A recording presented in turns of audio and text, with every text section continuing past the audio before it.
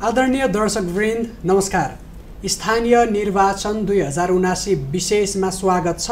तपाईँ यति बेला रे टेलिभिजन एचडीको विशेष प्रस्तुति स्थानीय तह निर्वाचन दुई हजार उनासी विशेष हेर्दै हुनुहुन्छ। स्थानीय तहको निर्वाचन वैशाख तिस गते हुँदैछ र स्थानीय तहमा जनप्रतिनिधि बन्नको लागि थुप्रा पार्टीहरूबाट थुप्रा उम्मेदवारहरूले आफ्नो उम्मेदवारी दर्ता पनि गराएका छन्। यसै बिचमा यसभन्दा अगाडि पनि नागार्जुन नगरपालिकामा उपमेयरको रूपमा विजेता भइसकेर जनप्रतिनिधिको रूपमा काम गरिसक्नु भएको सुशीला अधिकारीले योपालि पनि उपमेयरमा उम्मेदवारी दर्ता गराउनु भएको छ र आज यति बेला हामी कुरा गर्नेछौँ नेकपा एमालेको उपमेयरको उम्मेद्वार नागार्जुन नगरपालिकाको लागि सुशीला अधिकारीसँग हामी कुराकानी गर्दैछौँ। स्वागत छ कार्यक्रममा। धन्यवाद नमस्कार।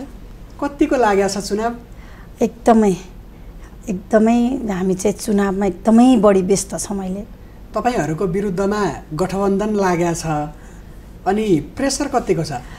त्यस्तो खासै त्यस्तो केही छैन। प्रेसर भनेको हामी चुनावी अभियानको लागि हामी चाहिँ सङ्गठनबाट आएको पार्टी भएको कारणले हाम्रो सङ्गठन छ सङ्गठन लड्ने हो सङ्गठन दह्रो भएको पार्टी भएको कारणले कसैको गठबन्धनले हामीलाई केही फरक पार्दैन। योभन्दा अगाडि पनि तपाईँले चुनाव जितेर काम गरिसक्नु भएको छ। अब अहिलेको लागि चाहिँ तपाईँहरू जसरी अगाडि बढिरहनु भएको छ योभन्दा अगाडि जितेर घर दैलो कार्यक्रममा जाँदै गर्दाखेरि जनताको समक्षमा जाँदै गर्दाखेरि कस्तो खालको प्रतिक्रिया छ? जनताहरू खासै त्यति धेरै सन्तुष्ट पनि छैनन् जस्तो लाग्छ। त्यो हजुरले भन्नुभएको स्वाभाविक कुरा हो। जब स्थानीय सरकार भनेर तिन तहको सरकार बन्यो केन्द्र प्रदेश र स्थानीय सरकार। त्यो सरकारले चाहिँ जनताको आधारभूत सम्पूर्ण सुविधा दिनुपर्ने हाम्रो संविधानमा व्यवस्था गरिएको छ। त्यो अनुसारको काम गर्नको लागि निर्वाचित जनप्रतिनिधिलाई त्यो ठाउँमा पठाइएको छ। त्यो काम गरिरहँदा एउटा सिस्टमले काम गर्नुपर्छ। सिस्टमले काम गर्दाखेरि जनताहरूले सिस्टमले काम गर्दाखेरि उहाँहरूले मिल्ने नमिल्ने उहाँहरूले थाहा पाउनुहुन्छ। अहिले जनता चाहिँ त्यति बुद्धु त्यो होइन। अहिलेको जनताहरू चाहिँ धेरै पढे लेखेको शिक्षित हुनुहुन्छ। उहाँहरू यो स्थानीय सरकार के हो भनेर जानकार पनि हुनुहुन्छ। उहाँहरूले स्थानीय सरकारले दिनुपर्ने सुविधा दियो कि दिएन हामीलाई भनेर हामीलाई वाच गरिरहनु भएको छ। त्यस कारणले म के भन्न चाहन्छु भने जब हामी चौहत्तरको चुनावमा निर्वाचित भएर गयौँ त्यसपछि काम गर्ने क्रममा धेरै कामहरू पूर्वाधारका कामहरू धेरै भएका छन्। तर नीति नियम र हाम्रो सिस्टमका कामहरू चाहिँ कम भएको कारणले पनि जुन विज्ञ खालका जनताहरू हुनुहुन्छ उहाँहरूले चाहिँ सिस्टममा लैजानलाई तपाईँहरूले पहल गर्नु पर्यो भनिरहनु भएको छ। विकास निर्माणका कामहरूमा चाहिँ केही फड्को मारेको देखिन्छ तर त्यो चाहिँ प्राथमिकताको आधारमा हुन सकेन। यही भएर नि कतिपय जनताहरूले गुनासो गर्नुभएको छ। यो सँगै विभिन्न ठाउँमा विकासका कामहरू भएनन् अथवा बाटाघाटा बन्ने। प्रक्रियाहरू अगाडि बढेनन् भन्ने गुनासो त छँदैछ। मुख्य गुनासो नेकपा एमालेसँग के छ भने केन्द्रमा जुन किसिमको राजनीति भयो ढलमलाउने खालको घरि प्रचण्डलाई बोकेर हिँडेछ घरि चाहिँ कङ्ग्रेससँग मिलेर हिँडेछ अनि खासै तपाईँहरूको गठबन्धन राम्रो भएको पनि देखिएन। त्यसले गर्दाखेरि पनि जनता निराश भए जसले गर्दाखेरि प्रदेश स्तरमा र स्थानीय तहमा पनि निकै प्रभाव पर्यो। यसलाई चाहिँ जनता समक्ष जाँदै गर्दाखेरि हामीले दिएको म्यान्डेटको कदर तपाईँहरूले गर्नु भएन भन्ने कुरालाई चाहिँ कसरी जस्टिफाई गर्नुहुन्छ? त्यो भन्नु स्वाभाविक हो केही समय अगाडि जब गठबन्धन टुटेको थियो गठबन्धन भन्दा नि हाम्रो एकता टुटेको थियो नेकपा एमाले र माओवादीबाट बनेको गठबन्धन होइन नेकपा नै बनेको थियो पार्टी नै एकता हुने। त्यो त्यतिखेर। उहाँहरूले के भन्नुभएको थियो भने यी कुराहरू आएको थियो। अहिले ती कुराहरू सबै चाहिँ चिरेर गइसकेको छ एमाले अब एमाले चाहिँ कुनै गल्ती गरेको छैन। एमाले नै देशको चाहिँ विकास गर्ने पार्टी हो। एमाले काम गर्ने क्रममा धेरै बाधा अवरोध भयो। त्यसकारण एमालेलाई चाहिँ फेरि ल्याउनुपर्छ भन्ने जनताको मन मनमा बस्न सफल भइसकेको छ एमाले पार्टी। हाम्रो पार्टीको केन्द्र प्रदेश र स्थानीय तहले गरेको कामहरूले जनताहरूमा एकदम प्रभावित पारेको अवस्था छ। यतिखेर एमालेको एकदम लहर चलेको छ। देशैभरि एमालेको लहर छ। स्थानीय तहमा हामी फेरि बहुमत ल्याउनेछौँ र केही समय पछाडि प्रदेश र केन्द्रको चुनाव हुँदैछ। त्यो त्यो बेलामा पनि हामी बहुमत ल्याएर फेरि जनताले नै स्वागत गरेर हामीलाई सिंहदरबार भित्राउनु हुनेछ भन्ने मलाई आशा छ। गर्दा? हजुर। तपाईँले यति भन्दै गर्दाखेरि जस्तो खालको विकासको प्रवृत्ति हेर्दाखेरि कस्तो छ भने सुरुमा बाटो खन्ने बाटो पिच गर्ने ढलको लागि फेरि त्यही बाटो खन्ने अनि फेरि दोस्रोचोटि पिच गर्ने तेस्रोचोटि फेरि टेलिफोनको लाइन र विद्युतको तार बिछाउन पर्यो भनेर खन्ने यही कुरा नागार्जुन नगरपालिकामा पनि भएका छन्। अब यसरी तपाईँहरू समन्वयकारी भूमिका निर्वाह नै नगरिकन विकासको मरियोलमा जाँदै गर्दाखेरि त एउटै कामको लागि तिन पटक बजेट खर्च हुन्छ तिन पटक जनताले दुःख पाउँछन्। अनि यस्तो तरिकाबाट जनता खुसी भएका छन् जनता खुसी बनाउँछौँ।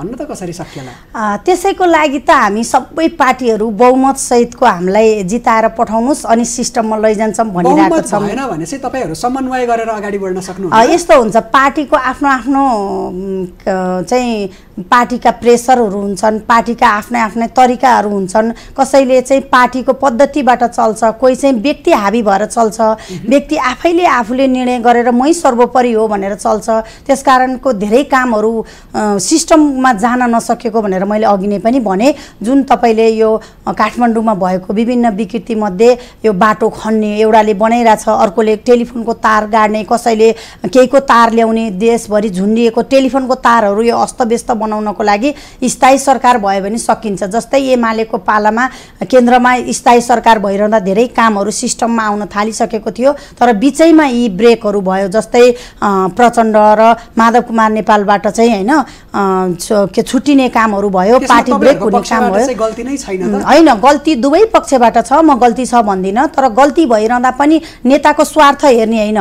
जनताको चाहिँ चाहना हेर्नु पर्थ्यो। उहाँहरूले जनताको चाहना हेर्न सक्नु भएन। अहिले उहाँहरू चुनावी माहौलमा जाँदाखेरि गठबन्धन गरेर जानुपर्ने अवस्था छ। एक्लै चुनाव लड्न सक्नु भएन उहाँहरू। हामी त एक्लै चुनाव लडेका छौँ मैदानमा उत्रेका छौँ। अर्को पाटोबाट हेर्दा तपाईँहरू अरूसँग मिल्न नसकेको होइन विभिन्न हेर्नुहोस् न चुनाव पछाडि केही दिनपछि रिजल्ट आउँछ यहाँले हेर्न सक्नुहुनेछ। एमाले कति बलियो रहेछ र एक्लै गठबन्धनलाई लडाउन सक्छ भन्ने कुरो। जब यहाँहरूको गठबन्धनको कुराहरू छ त्यो गठबन्धनले एकदम छरपष्ट भएको कुराहरू छ।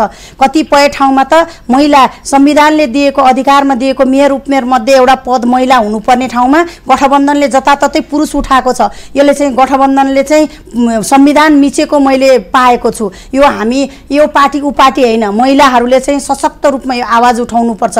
यो कुरालाई हामीले जसरी भए नि नकार्नुपर्छ। एउटा महिला नेत्री काङ्ग्रेसमा मोरी मेटेर काम गरेको नेत्रीले चाहिँ आज टिकट पाउने बेलामा खोसेर अर्को पार्टीलाई दिएको अवस्था छ। अर्काको भरमा कति दिन चल्छ र? जु गाँसेको जुङ्गा कति दिन रहन्छ र? हामीले मुख धुँदा गइहाल्छ।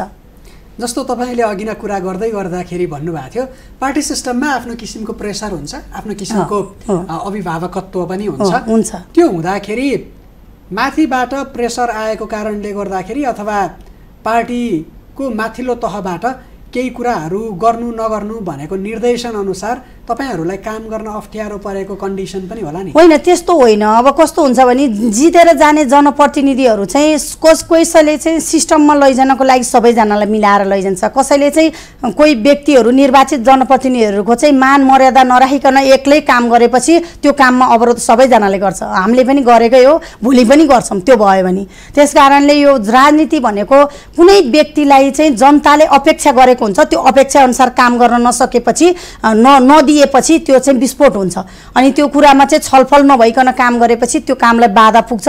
त्यसरी गर्दाखेरि चाहिँ धेरै कामहरू जनताले दुःख पाउने अवस्था देखेको छु। त्यस कारणले बहुमत सहितको सरकार बनाउन सक्यो भने स्थानीय सरकारमा धेरै काम गर्न सकिन्छ। प्रदेश र केन्द्रभन्दा स्थानीय त फरक हो। यो चाहिँ जनतासँग एकदम नजिक भएर काम गर्ने सरकार भएको कारणले जनताले चाहे अनुसारको विकास गर्नको लागि बहुमत सहित मेयर उपमेयर सहितको बहुमत आउनुपर्छ। त्यो बहुमतले काम गरिरहँदा आफूले लिएका घोषणा घोषणापत्र जनताले राख जनताको बिचमा राखेको प्रतिबद्धतालाई हेरेर हामी काम गर्न सक्छौँ। अहिलेको अवस्थामा हजुर। तपाईँले पार्टी भनेर भनिरहँदाखेरि विदेशका कतिपय ठाउँहरू अथवा युरोपमा हेर्ने हो भने लन्डन जस्तो सहरहरूमा त्यो सँगै अमेरिकामा हेर्ने हो भने मेयर भन्ने पद चाहिँ व्यक्ति विशेष हुँदो रहेछ। हामी यहाँ पार्टी विशेषमा गइरहेछौँ। त्यसले गर्दाखेरि कुनै एउटा राम्रो व्यक्ति भन्दा नि मानिसहरूले पार्टीका आधारमा अथवा सूर्यको आधारमा रुखको आधारमा आफू कुन पार्टीमा पहिल्यैदेखि लागेको छ परिवार कुन पार्टीमा लागेको छ त्यो आधारमा मत दिने हुँदाखेरि कतिपय स्थानमा अपरिपक्व जनप्रतिनिधिहरू पनि छानिएका छन्। यसले गर्दाखेरि तपाईँले पार्टी विशेष हुनपर्छ भनेर भनिरहँदाखेरि मेयर पद भनेकै व्यक्ति विशेष हो भनेर कतिपय उदाहरणहरूले देखाएका छन्। यसमा तपाईँको भनाइ के छ? त्यो मलाई सही लाग्छ। त्यो सही हो। जुन जुन पार्टीबाट जितेर गए पनि त्यो व्यक्ति चाहिँ सामूहिक व्यक्ति बन्न सक्नुपर्छ मेयर पदको लागि उपमेयर पदको लागि। त्यसमा बसिसकेपछि कुनै व्यक्ति म चाहिँ पार्टीभन्दा माथि उठेर काम गर्नुपर्छ। त्यो स्वाभाविक कुरा हो। त्यो भएन भने जनताले न्यायोचित ढङ्गले न्याय पाउँदैनन्। त्यो मलाई स्वीकार्य छ। तर पनि के हो भने हामी चाहिँ हाम्रोमा हाम्रो देशमा यति सिस्टमहरू चाहिँ विकास भइसकेको अवस्था छैन। अहिले हामी दलीय व्यवस्थामा चलिरहँदा दलबाहेक हामी त्यसरी सामूहिक व्यक्तिलाई मेयर बनाउन सक्ने अवस्था आधारहरू तयार भएको छैन। कुनै दिन होला। हामी समाजवादको लक्ष्य बोकेर अगाडि बढेको कम्युनिस्ट पार्टीले यो परिकल् परिकल्पना गरेका छौँ। त्यो हुनसक्छ कुनै दिन तर केही समय लाग्छ।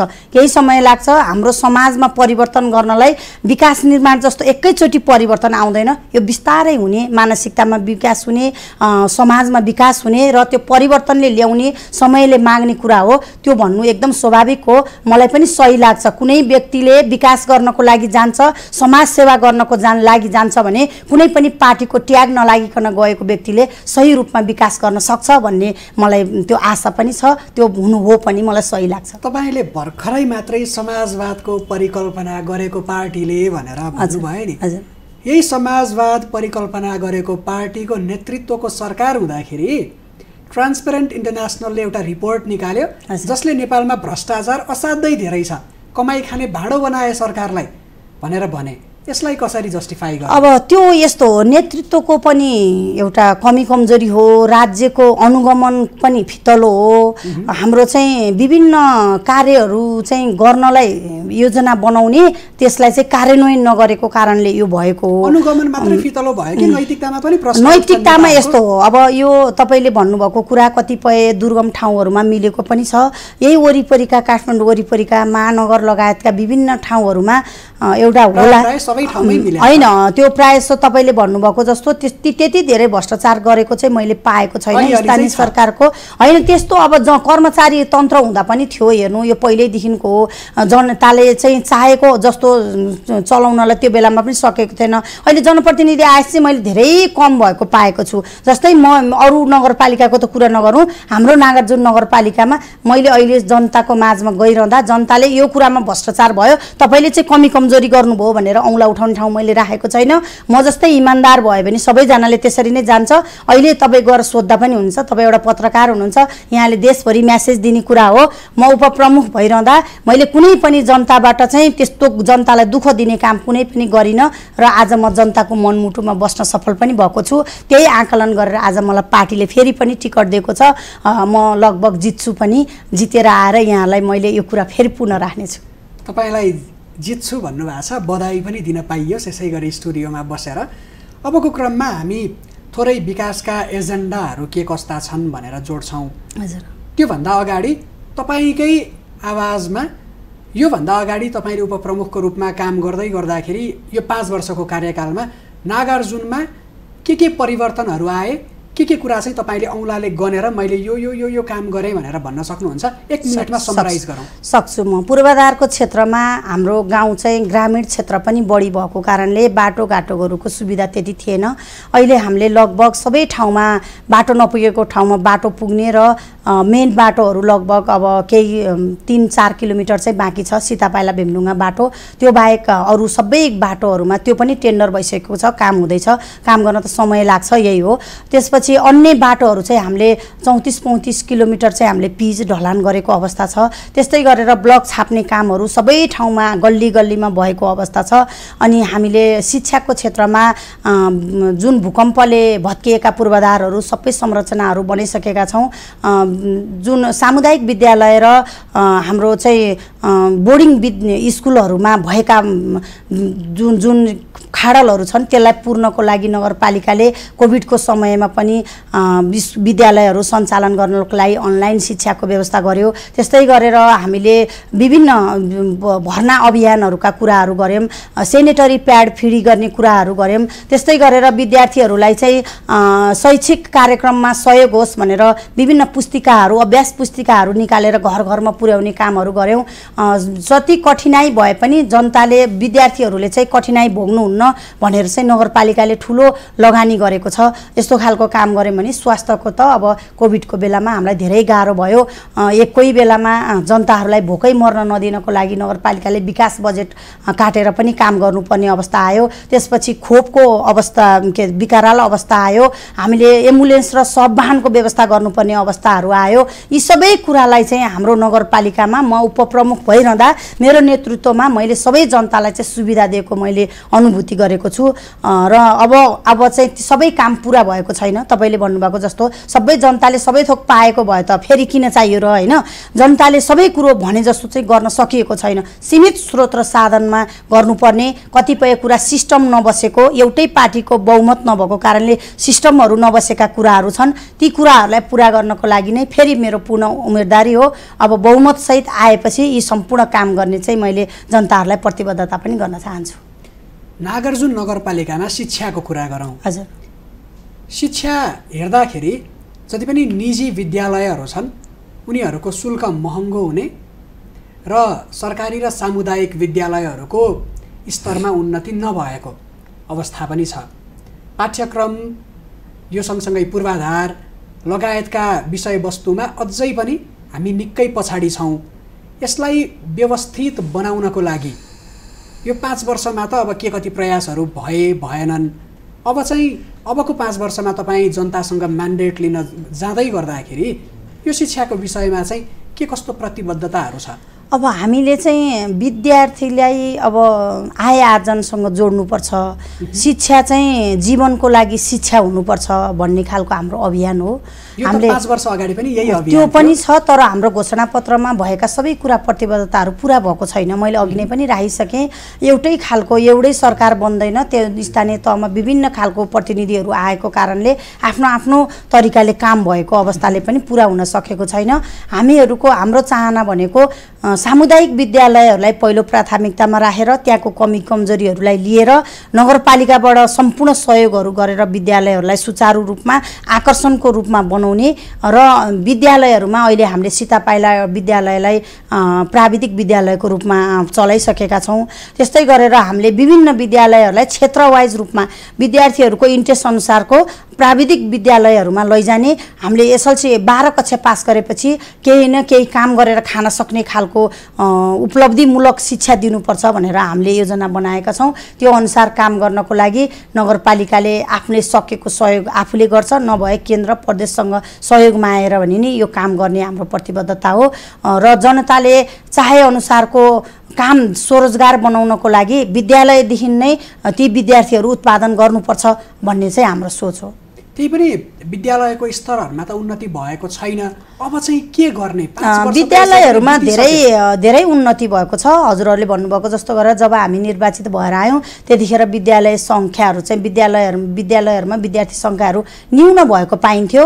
अब अहिले दिवा खाजाको व्यवस्था गरेको छ सेनेटरी प्याडको व्यवस्था गरेको छ। अब त्यहाँ चाहिँ निम्न वर्ग भएका आय आर्जन भएका व्यक्तिहरू मात्रै पढ्ने भन्ने जुन हाम्रो कन्सेप्ट थियो नि त्यो कन्सेप्टलाई चिर्नको लागि हामीले भर्ना अभियानहरूमा कर्मचारीहरूको बच्चाहरू पनि त्यहीँ भर्ना गर्नुपर्ने अनि शिक्षकहरूले आफ्नो बच्चाहरू त्यहीँ भर्ना गर्नुपर्ने भन्ने खालको एक खालको रणनीति बनाएर पनि लग्यौँ भर्ना अभियानहरूमा नगरपालिकाले अब अहिले राज्यले पनि सरकारी विद्यालयमा पढेका विद्यार्थीहरूलाई केही छुट दिने नि शुल्क त्यहाँ कलेजहरूमा भर्ना गर्ने अभियानले गर्दाखेरि पनि अहिले केही आकर्षण बढेको पाइन्छ। अब यसलाई तैपनि भएको छैन जस्तो शिक्षकहरूले आफ्नो बालबच्चा त्यो विद्यालयमा पढाउने भनेर भनिन्छ। अझै पनि कतिपय सरकारी विद्यालयमा अध्यापन गराउने शिक्षकहरूको बालबच्चाहरू निजी विद्यालयमा नै जान्छन्। शिक्षकहरू राजनीतिको चपेटामा पर्छन् र स्कुलको जुन व्यवस्थापन कमिटी छ व्यवस्थापन कमिटीमा नपढेका मानिसहरू अध्यक्ष उपाध्यक्ष सचिव भएर त्यो स्कुलको व्यवस्थापन चलाउँछन् र उनीहरू पूर्ण रूपमा भ्रष्टाचारमा लिप्त छन्। राजनीतिकरण भएको छ। यसलाई कसरी कन्ट्रोल गर्ने? अब हजुरले भन्नुभएको जस्तो गरेर अब यो चाहिँ जुन ठाउँमा विद्यार्थीहरू पढ्छन् त्यो त्यो ठाउँ चाहिँ निष्पक्ष रूपमा चल्नुपर्ने हो तर त्यो छैन। अहिले विभिन्न कतिपय त दबावमा परेर नि छन् कतिपय आफू पनि त्यो विद्यालयमा नाम मात्रै शिक्षक हुने र पूर्ण रूप चाहिँ पूर्ण चाहिँ समय चाहिँ राजनीतिलाई दिने शिक्षकहरूको व्यवस्था पनि देख्नु होला कतिपय त शिक्षकहरू नै पनि त आउँछन् प्रायः सो चाहिँ हामीले चाहिँ हाम्रा विद्यालयका नगरपालिकाका शिक्षकहरूलाई र्यालीमा बोकेर हिँडेका छैनौँ। विपक्षी पार्टीले चाहिँ मैले धेरै बोकेर हिँडेको देखेँ धेरै हेड सरहरू नै देखेँ क्या। त्यसरी हिँडेको देखेँ। मैले उहाँहरूलाई भने तपाईँहरू निस्वार्थ छैन भन्ने त होइन। होइन निस्वार्थ छ न त छ हाम्रोमा हाम्रोमा त्यसरी हामीले बोकेर हिँडेका छैनौँ। किनभने उहाँहरूकोमा सबै पार्टीका विद्यार्थीहरू आउन सक्छन् पढ्नलाई। उहाँ एउटा पार्टीको मात्रै टिचर होइन। सम सामूहिक टिचर बन्न सक्नुपर्छ। राजनीति प्रभाव पऱ्यो भने त्यो ठाउँमा सही शिक्षा हुन सक्दैन भन्ने हाम्रो पार्टीको धारणा छ। त्यसअनुसार हामीले उहाँहरूको इच्छाले कतै जानुहुन्छ आफ्नो ठाउँमा छ। तर दबावमा पारेर टिचरहरूलाई पनि हामीले र्यालीमा चाहिँ हिँडाउने गरेका छैनौँ। विपक्षी पार्टीको मैले हिजो मात्रै देखाएको थिएँ दुईवटा तिनवटा हेड सरहरू चाहिँ उहाँहरू खादा लगाएर अ, र्यालीमा काङ्ग्रेसको झन्डा हालेर बोकेर हिँड्नु भएको चाहिँ मैले भेटेको। शिक्षकहरू राजनीति गर्ने शिक्षकहरू तपाईँहरूकै पार्टीमा पनि छन् भन्ने छन चाहिँ छ। छ। छ छ सबै पार्टीमा छ। सबै पार्टीमा छ तर हाम्रो चाहिँ हाम्रो सङ्गठन शिक्षक सङ्गठन भनेको नितान्त पार्टीभन्दा बाहिर बसेर एउटा सङ्गठनको रूपमा काम गरेको पाइन्छ पार्टीसँग सम्बन्धित चाहिँ हो। यसरी छ भनेर भनिरहँदाखेरि त्यसलाई न्यूनीकरण गर्ने अथवा शिक्षकहरूलाई राजनीतिमा आउन नदिने अथवा शिक्षकहरूलाई राजनीतिबाट वञ्चित गर्ने केही समयको लागि उहाँहरूले जति समय अध्यापन गराउनुहुन्छ त्यो बेलामा चाहिँ विद्यालयमा विद्यार्थीहरूका लागि काम गर्ने मानिसहरू जुन छन् उनीहरूमा राजनीतिकरण नहोस् विद्यालयमा राजनीतिकरण नहोस् भनेर सुनिश्चित गर्न केही गर्न सक्दैन पार्टीले? अब सक्छ त्यो सक्छ भन्नाले सबै पार्टीको धारणा मिल्नुपर्छ त्यसको लागि। यो राज्यले गर्ने कुरा हो। एमालेले मात्रै पनि गर्न सक्दैन। हाम्रो बहुमत भएको खण्डमा राज्यले कुन आफूले नीति नियम बनाउन पाउँदा गर्न सक्छ होइन? त्यो कसरी कन्ट्रोल गर्न सकिन्छ भन्ने कुरा। यो आजको मात्रै समस्या होइन। यो लामो समयदेखिको लामो। समयदेखिको अब तिन वर्ष पनि बहुमत पनि कसरी चल्यो भन्ने कुरा यहाँहरूलाई नि त स्पष्ट छ नि। कामै गर्न नदिने जुन राम्रो काम गर्न लायो उहाँहरूलाई कहाँबाट दबाब आउँथ्यो त्यही काममा अवरोध भएको कारणले त पार्टी चाहिँ फुटेर जानु परेको तपाईँहरू भनिरहनु भएको छ। उहाँहरूको माग सम्बोधन भएन भनेर उहाँहरू त्यो त अब त्यो छिनछिनमा फेर्ने त्यो छिनछिन छिनछिनमा फेर्ने प्रधानमन्त्रीले के काम? त्यो छिनछिनको प्रधानमन्त्रीले के काम? लामो? समय चाहिँ दिनुपर्ने नि हो। जनतालाई पिल्साउने हाम्रो चाहना होइन। यो चाहिँ। राजनीतिमा स्थिरता अस्थिरता भएको कारणले यो हुन गएको हो। यो राजनीतिमा अस्थिरता हुन नदिनको लागि चाहिँ अब ठुलो कुरा भन्दा पनि म एउटा स्थानीय तहको म जिल्ला कमिटीको मात्रै नेता भएको कारणले हाम्रा नेताहरूले धेरै यस्ता इन्टरभ्यूहरूमा यो कुराहरूलाई चिर्नु पनि भएको छ। अहिले जनताहरू कन्भिन्स पनि भइसक्नु भएको छ। एमालेबाट गल्ती भएको होइन। अन्य पार्टीबाट गल्ती भएरै आज यो भएको हो। देशले चाहिँ अहिले पनि चुनाव नगर्ने रणनीतिमा हुनुहुन्थ्यो गठबन्धनहरू। एमालेकै दबावमा चुनाव भइरहेको छ। हाम्रो एमाले जनताको हितको लागि काम गर्छ। हिजो पनि गरेको थियो आज पनि गर्छ भोलि पनि गर्छ। यो तपाईँको पाटोको कुरा भयो खैर। अब हामी स्वास्थ्यतिर जाउँ। स्वास्थ्यमा कोभिडको समयमा तपाईँहरूले नागार्जुनवासीहरूलाई भ्याक्सिन कति शीघ्र उपलब्ध गराउनु भयो? हामीले अब पहिलो चरणमा त हामीहरूमा नि अभाव भएकै हो।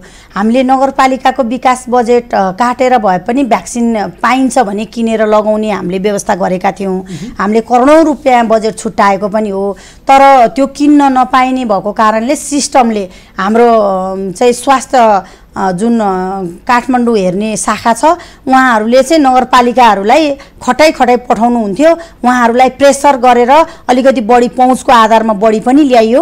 त्यसरी चाहिँ जनताहरूले पहिलो चरणमा एकदम भिडमभाड भयो जनताहरूमा कुटामार हुन सक्ने अवस्था भयो तर हामीले चाहेर पनि भ्याक्सिन सुरुमै उपलब्ध गराउन सकेनौँ। एक दुई हप्ता पछाडि चाहिँ त्यो चाहिँ साम्य भएर गयो। सबैजनाले भ्याक्सिन पाउने अवस्था भयो। शीघ्र रूपमा हामीले भ्याक्सिन उपलब्ध गरायौँ र जनताहरूको लाई चाहिँ जुन चाहना थियो उहाँहरूले हामीले भ्याक्सिन पायौँ भने हामीलाई छिटोभन्दा छिटो रोगबाट चाहिँ कम हुन्छ कि भन्ने चाहना थियो। हामीले से दोस्रो डोज पनि लगायौँ र बुस्टर डोज पनि लगाएर सकिसकेको अवस्था छ अहिले चाहिँ। स्वास्थ्य चौकी नगर अस्पतालहरूको व्यवस्था राम्रो छैन। अहिले पनि जनताहरू उही निजी अस्पतालमा जान बाध्य छन् र उपचारको लागि अत्यन्तै धेरै निजीकरण भइसके पछाडि स्वास्थ्य क्षेत्रमा अलिकति दयनीय अवस्था छ पुरै राज्यको सँगसँगै नागार्जुनको पनि। अबको प्रतिबद्धता के हुन्छ? अब हामीले चाहिँ नगर अस्पताल बनाउन भनेर जुन केपी ओलीको सरकारको पालामा प्रत्येक नगरपालिकाले एउटा एउटा पन्ध्र सयको नगर अस्पताल बनाउने भनेर बजेट पनि छुटिसकेको छ होइन?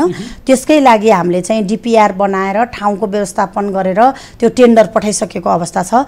हामीहरूको पनि तपाईँले भन्नुभएको जस्तै पाँचवटा स्वास्थ्य चौकीहरू थियो हाम्रो स्वास्थ्य शाखाहरू थियो। त्यही शाखाबाट चाहिँ बिरामीहरूलाई चाहिँ केही समय के आधारभूत आवश्यकताका उपचारका चिजहरू चाहिँ त्यहीँबाट दिने गरिएको थियो। अहिले हामीले पाँचवटा दसैँवटा वडाहरूमा अ, स्वास्थ्य सहरी क्लिनिक भनेर व्यवस्थापन गरेर वडै पछि बनाएका छौँ।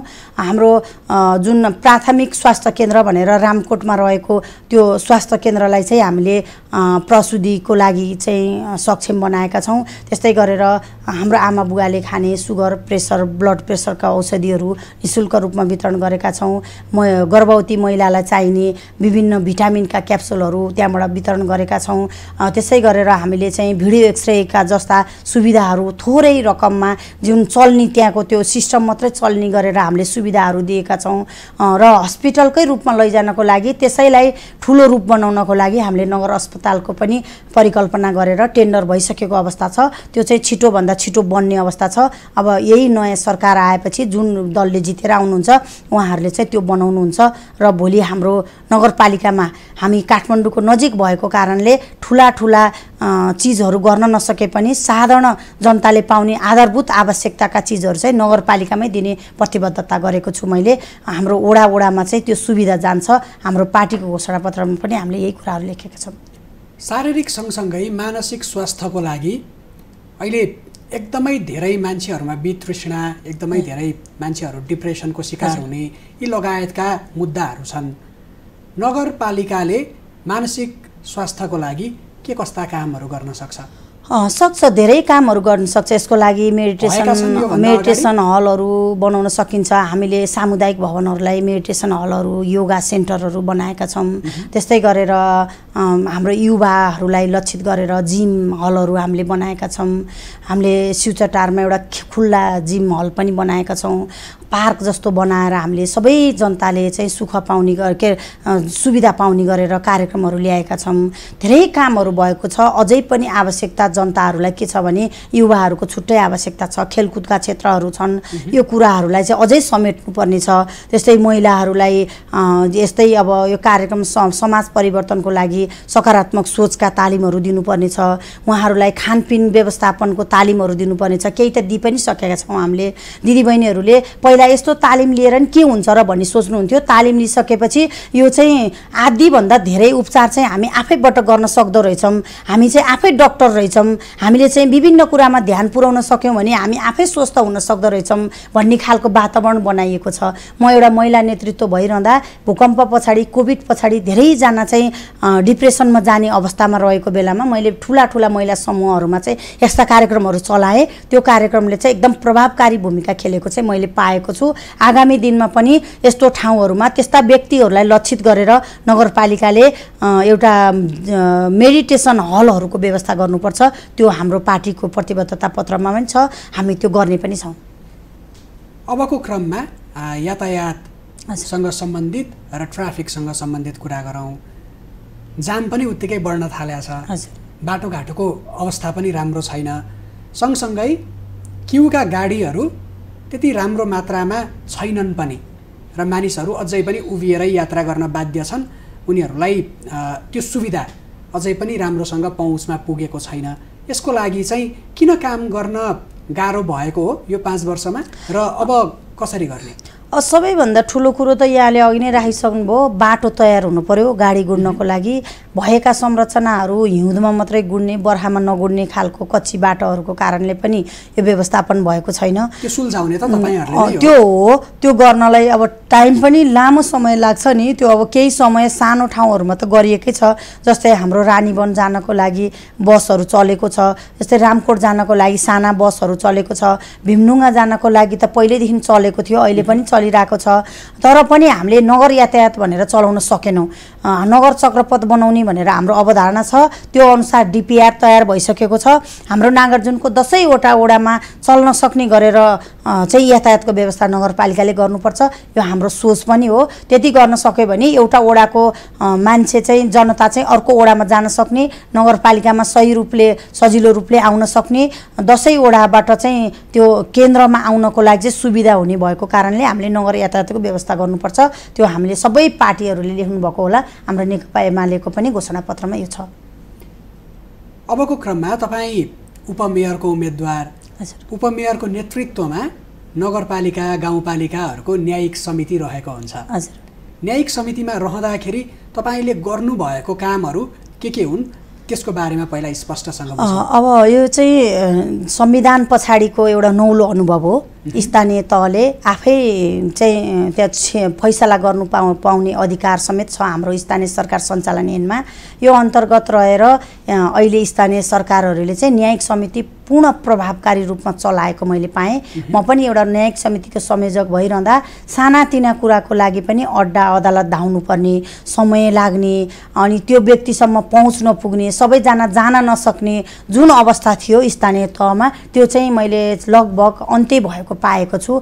हामी चाहिँ जनताको घर घरमा पुग्ने सरकार भएको कारणले मलाई सबैजनाले पहुँच पुर्याउन सक्नुहुन्छ।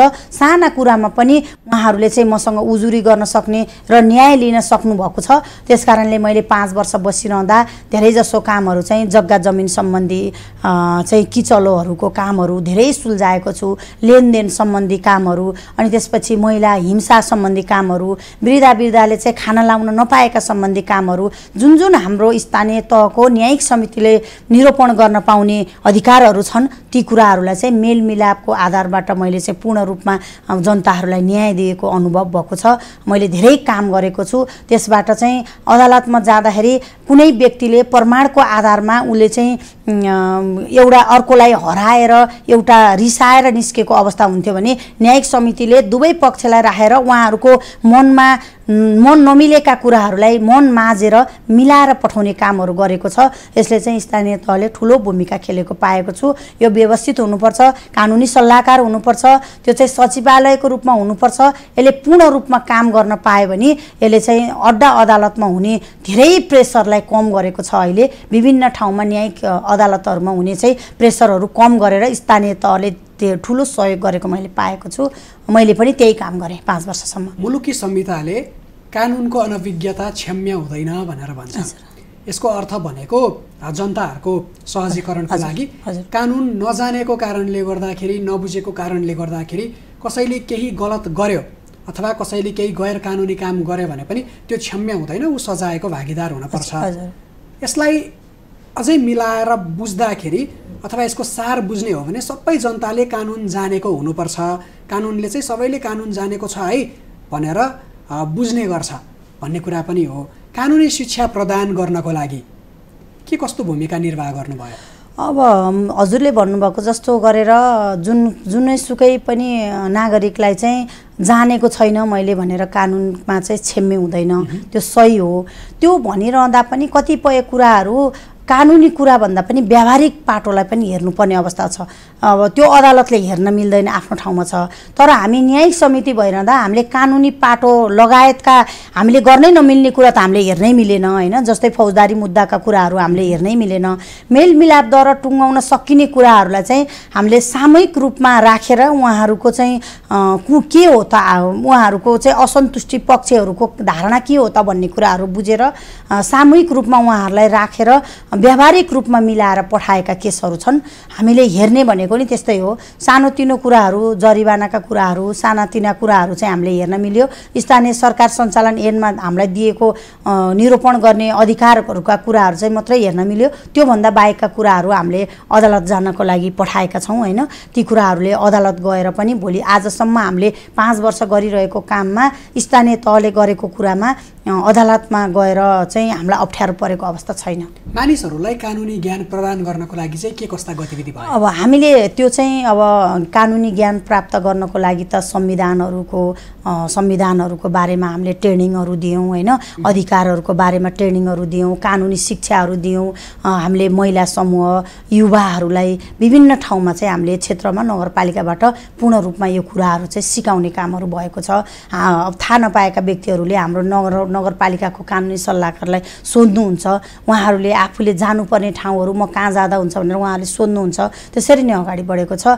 स्थानीय सरकार भनेको सबैतिर हेर्नुपर्ने भएको कारणले एक ठाउँ मात्रै होइन एउटा कुरा मात्रै होइन हामीले चाहिँ सबै कुराहरूलाई हेरेर जनताको आवश्यकता अनुसार काम गर्नुपर्ने भएको कारणले हामीले चाहिँ त्यसरी काम गर्ने गरेका छौँ। यसमै अर्को एउटा प्रश्न पनि जोडिहालेँ। हजुर। स्थानीय निकायमा कानुनको लागि भनेर स्पेसली तपाईँहरूलाई न्यायिक समिति बनाएर दिइरहँदाखेरि सरकारले केन्द्रीय सरकारले प्रदेश सरकारले गर्नुपर्ने जिम्मेवारीहरू जुन छन् ती राम्रोसँग पुरा भएका छैनन् अथवा भनौँ त्यो कार्यमा ल्याउनको लागि जे जस्तो गतिविधिहरू हुन पर्थ्यो जे जस्तो प्रावधानहरू हुन पर्थ्यो ती कुराहरू खासै राम्रोसँग विकास नभएको अवस्थामा न्यायिक समितिमा बसेर काम गर्न झन्झट हुँदो रहेछ?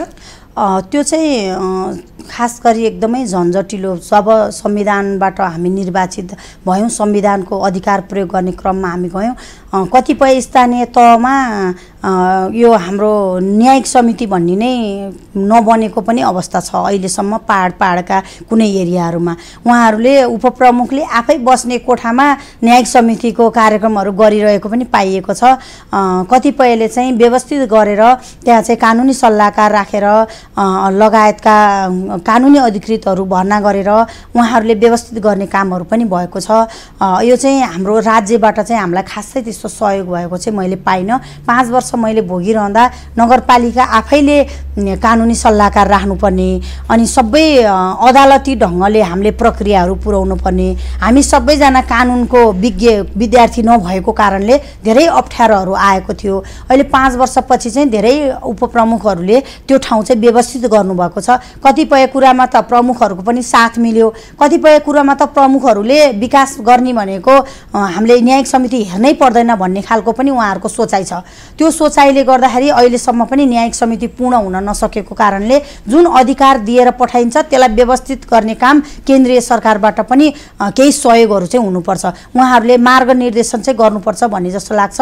हामीले चाहिँ न्यायिक समिति बनायौँ। एक वर्ष जितेको छ महिना पछाडि हामीले न्यायिक समिति बनायौँ कार्यविधि बनायौँ। त्यसलाई एन बनाएर का कार्यविधि बनाएर चाहिँ हामीले सञ्चालन गऱ्यौँ र सुचारु रूपले काम गरेका छौँ। हामीले पाँच वर्ष अगाडि जब स्थानीय सरकारका लागि जनप्रतिनिधिहरूले फोहोरलाई मोहर बनाउँछौँ फोहोर व्यवस्थापन राम्रो हुन्छ भनेर सबैजनाले प्रतिबद्धता लिएर आए यहाँहरू पनि त्यही तिनै मध्येबाट एक हुनुहुन्थ्यो। अहिले हेर्दाखेरि काठमाडौँ उपत्यकाबाट फोहोर उठाउने अनि त्यस पछाडि लगेर नुवाकोटमा फाल्ने। यसमा नागार्जुन पनि अछुत छैन। छैन। एउटा ठाउँबाट फोहोर उठाएर अर्को ठाउँमा लगेर फाल्ने। यसलाई त फोहोर व्यवस्थापन भन्दा नि एउटा ठाउँबाट निकालेर देशको अर्को ठाउँ त बिगारे जस्तो देखिरहेछ। उताको जमिन उर्वर जमिन मासिरहेको छ। यसमा चाहिँ तपाईँहरू सबै जनप्रतिनिधि मिलेर गर्नुपर्ने। मैले तपाईँलाई मात्रै पनि भनिनँ। जति पनि काठमाडौँ उपत्यका जनप्रतिनिधिहरू हुनुहुन्छ तपाईँहरू एकै ठाउँमा आएर छलफल गरेर यो फोहोरलाई व्यवस्थापन गर्नुपर्ने खासमा। रिसाइकल गर्न मिल्छ कि रियुज गर्न मिल्छ कि मल बनाउन मिल्छ कि तर भइरहेको के छ भने तपाईँहरू फोहोर उठाउँदै हुनुहुन्छ अर्को ठाउँमा लगेर फाल्दै हुनुहुन्छ। काठमाडौँको जनताको त तपाईँहरूलाई आशीर्वाद लाग्ला। नुवाकोटेले खुब सराप छन्। के गर्ने? यो चाहिँ अब हामीले स्थानीय तहले मात्रै भन्दा पनि यो राज्यको नै अलिकति अप्ठ्यारोमा परेको अवस्था हो यो फोरम अधिकार छ हामीले त्यो गर्नको लागि मेयर फोरम बनाएर पाँच वर्षसम्म विभिन्न छलफलहरू पनि गऱ्यौँ। यो कसरी जाने यो चाहिँ कसरी टेन्डर गर्ने रिसाइकल तपाईँले भन्नुभएको गरेर रिसाइकल कसरी गर्ने भनेर हाम्रो छलफल पनि भएको थियो। लामो समयदेखिको हामीले छलफल गरेर मेयर्स फोरम एउटा उपत्यकाको मेयर्स फोरम थियो। त्यो फोरमले चाहिँ धेरै छलफलहरू गरेर पहिला हाम्रो केपी ओली प्रधानमन्त्री हुँदाखेरि उहाँ समक्ष गएर केही गर्ने भनेर ग्लोबल भिजन भन्ने एउटा संस्थालाई दिने भन्ने कुराहरू पनि भएको थियो। कोही नगरपालिकाहरूले चाहिँ त्यो स्वीकृति पनि दिइसकेको अवस्था हो। तर यो पछि गएर के भयो भने एउटा कुरो त समयको पनि अभाव हो। अर्को कुरो हजुरले भन्नुभएको जस्तो गरेर एक ठाउँको फोहोर लगेर अर्को ठाउँमा सधैँ फ्यालिरहँदा यो चाहिँ कति समयसम्म चल्छ त? यसले दीर्घकालीन सोच के हुन्छ त भन्ने कुराहरू पनि छ। यसलाई चाहिँ अब रिसाइक्लिङ गर्ने कुराहरूमा यही फोहोर मैला व्यवस्थापन गर्नको लागि नेताहरूले चाहिँ धेरै पैसा खर्च गरेर विदेश पनि जानुभएको छ। उहाँहरूले विभिन्न प्रविधिहरू हेरेर ल्याउनु भएको छ। तर हामी स्थानीय सरकार त सबैजना त्यो ठाउँमा पुग्न पनि सकेका छैनौँ। होइन स्वीकार त अब हामी स्थानीय सरकार बनिसकेपछि गर्छौँ भनेर प्रतिबद्धता पत्र लैरहँदा गर्न नसक्दा त गल्ती हो हाम्रो भनेर त स्वीकार त हामी गर्छौँ। तर यो चाहिँ हामीले मात्रै गर्न सक्ने कुरा होइन। यो राज्य पनि लाग्नुपर्ने अवस्था छ यसमा चाहिँ। राज्यले पनि अब यो ठुलो यहाँ सबै सतहत्तरै जिल्लाको मान्छेहरू आएर यही उपत्यकामा बस्नुहुन्छ। अब अन्तको सानो भोल्युमलाई व्यवस्थापन गर्न गाह्रो भएन। हाम्रो यहाँ एकदमै ठुलो भोल्युम हुने भएको कारणले सानोतिनो प्रोजेक्टले यो सक्दैन सक्दैन। यो सोचेर पनि हामीले सोचेर गर्न सक्ने अवस्था यो हामीले विभिन्न सङ्घ संस्थाहरूसँग समन्वय गरेर गर्नुपर्छ। तर सबै नगरपालिका मिलेर गऱ्यो भने गर्न सकिन्छ। बेला बेलामा फोहोर मैलाकै इस्युले गर्दाखेरि हामीलाई धेरै कुराहरूमा बाधा पनि पुगेको छ। विशेष गरेर काठमाडौँ महानगरपालिकालाई यसको बढी प्रेसर परेको अवस्था छ। अन्य नगरपालिकाहरूमा त अलिक कम जनघनत्व भएको कारणले अलिकति कमै प्रेसर हुन्छ। तर मान्नै पर्छ यो सबै नगरपालिकाले चाहिँ त्यही अवस्थामा रहनु परेको छ। कुनै कुनै नगरपालिकाले सानो प्रविधिहरूको व्यवस्था गर्नुभएको छ। त्यसले पनि पूर्ण भएको चाहिँ छैन। गाह्रो छ भनेर भन्दै गर्दाखेरि यहाँनिर स्वतन्त्र उम्मेद्वारहरू पनि आउनुहुन्छ क्या? तपाईँ बसेकै कुर्सीमा बसेर अन्तर्वार्ता दिनुहुन्छ। उहाँहरूले के भन्नुहुन्छ भने तपाईँहरूले केही नगर्नु भएको हो। एकदमै सहज छ। प्रविधि पनि छ। त्यस पछाडि सेग्रेगेसन गर्न सकिन्छ। अनि एकदमै सहज तरिकाबाट एउटा प्रविधि ल्याउने हो भने सहजै यो फोहोर व्यवस्थापन गर्न सकिन्छ। तर कमिसनको खेलमा अहिलेका जनप्रतिनिधिहरू सबैजना रनभुल्लमा परेर यो काम नगर्नु भएको हो भनेर आरोप लाउनुहुन्छ। तपाईँको जवाफ के छ? त्यो आरोप लाउनु स्वाभाविक हो। कुर्सीमा बसिसकेपछि त्यो निभाउनको लागि धेरै गाह्रो छ। उहाँहरू प्रतिपक्ष भएर बोल्नलाई सजिलो छ। उहाँहरूले भनेको जस्तो सजिलो चाहिँ छैन। यो जो बस्छ त्यो जिम्मेवार व्यक्ति हुन्छ त्यो व्यक्तिलाई चाहिँ धेरै गाह्रो परेको अवस्था हो। मन सबैजनाको छ सोच सबैजनाको छ। त्यो काम चाहिँ हामीले पूर्ण गर्न पाए जनताको माझमा हाई हाई भइन्थ्यो भन्ने सोच सबैजनाको छ। तर गर्नलाई चाहिँ धेरै कुराले अप्ठ्यारो पारेको अवस्था हुन्छ। उहाँहरूले भन्नुभएको जस्तो जितेर आए पनि त्यो सहज चाहिँ हुँदैन। कानुन छ नियम छ त्यसमा बसेर सबैजनाले काम गर्नुपर्छ। एक्लो व्यक्ति केही पनि होइन। नियम कानुनमा बसेर काम गर्नु नै ठुलो कुरा भएको कारणले उहाँहरूले प्रतिपक्ष भएर मात्रै भन्नुभएको हो। त्यो ठाउँमा पुग्नुभयो भने उहाँहरूलाई पनि यही हाम्रै जस्तो अवस्था हुन्छ बाध्यता हुन्छ। तपाईँहरूले जितिसके पछाडि एकचोटि उहाँहरूलाई टेबलमा बोलाएर अथवा योभन्दा अगाडि जित्नुभयो उहाँहरूलाई बोलाउन सकिन्थ्यो होला। र अब पनि जित्छु भन्दै हुनुहुन्छ। जित्नु भएको खण्डमा उहाँहरूलाई टेबलमा बोलाएर र तपाईँले कस्तो सहज तरिकाले भन्नुभएको थियो टेलिभिजनमा सिकाइदिनु पर्यो। भनेर पनि भन्न सकिन्छ होला। सकिन्छ। उहाँहरूसँग सल्लाह सुझाव लिन सकिन्छ सकिन्छ उहाँहरूको। गर्नुहुन्छ? होइन यस्तो छ है। अब अहिले तपाईँसँग कतिजना पत्रकार हुनुभयो यहाँसँग धेरैजना छोकिन आउनुभएको होला। उहाँले भन्नुभयो स्वाभाविक कुरा हो। तर हामी जनप्रतिनिधि भइरहँदा उहाँ पनि नेपाली नागरिक हो नि त एउटा। उहाँको पनि त दायित्व छ नि नेपालप्रति केही गर्नुपर्ने आफ्नो नगरपालिकाप्रति केही गर्नुपर्ने। हामी जनप्रतिनिधिसँग आएर उहाँहरूले यो गर्न सकिन्छ भनेर किन सरसल्लाह दिन सक्नुहुन्न त? उहाँहरूले चाहिँ यो गर्न सक्थ्यौँ। उहाँहरू हुँदा मात्रै गर्नु भन्ने छ र हामी हुँदा पनि तपाईँहरूले यो गर्नुहोस् भन्न त सक्नुहुन्छ नि। सहज भेटघाट पाइन्छ किन पाइँदैन? हामी त हाम्रो त ज सधैँ खुल्ला हामी त जनताको जनप्रतिनिधि हो।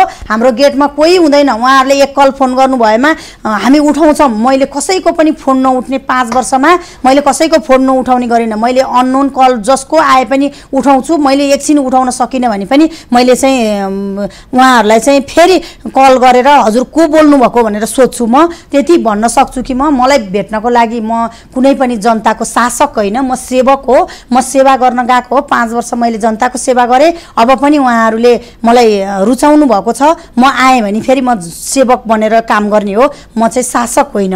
मैले जनताको लागि के गर्न सक्छु मेरो क्षमताले कति भ्याउँछ मेरो अधिकार सरकारले कति दिन्छ त्यो काम गरेर मैले पाँच वर्ष बिताउँछु यो टेलिभिजनबाट तपाईँको प्रतिबद्धता भयो। भोलि फेरि तपाईँ त्यो उपमेयरको कुर्सीमा बस्दै गर्दाखेरि तपाईँसँग सहज भेट पाइन्छ पाइन्छ एकदम हुन्छ प्रतिबद्धता हो। म एकदम सहज रूपमा मेरो गेटमा कोही पनि मेरो ढोकामा बस्ने मान्छे हुँदैन कसैले त्यहाँ नजानुस् भन्दैन।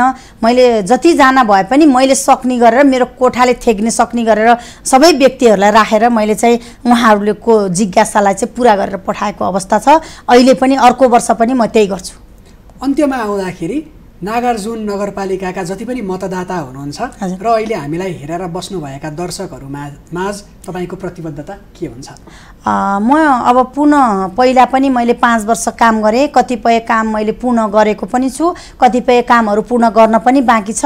र म जनताको माझमा चाहिँ एकदम सहज रूपले हिँड्ने जनप्रतिनिधि भएको कारणले मलाई सबैजनाले पूर्ण चाहना पनि हो तपाईँ पुनः आउनुपर्छ भन्ने चाहना नि हो। त्यही कुरालाई मध्यनजर गरेर पुनः मलाई मेरो पार्टीले उपप्रमुखको पदको लागि टिकट दिएको छ। म फेरि आएको छु। यहाँहरूले सबैजनाले मलाई चाहिँ पूर्ण रूपमा विजय गराउनुहुन्छ र यहाँहरूसँग आइसकेपछि अघि नै मैले भने म चाहिँ कुनै शासक होइन सेवक बनेर यहाँहरूको साथी बनेर यहाँहरूको सम्पूर्ण समस्याहरूमा चाहिँ म समाधान गर्ने गरेर पुनः आउनेछु र यहाँहरूको साथसाथै पाँच वर्ष बिताउनेछु भन्ने प्रतिबद्धता गर्न चाहन्छु। नागरिकको प्रतिनिधिको रूपमा हामीले तपाईँले पाँच वर्ष के के काम गर्नुभयो भनेर जुन प्रश्न सोध्यौँ त्यसको जवाफ एकदमै सरलताका साथ दिनुभयो।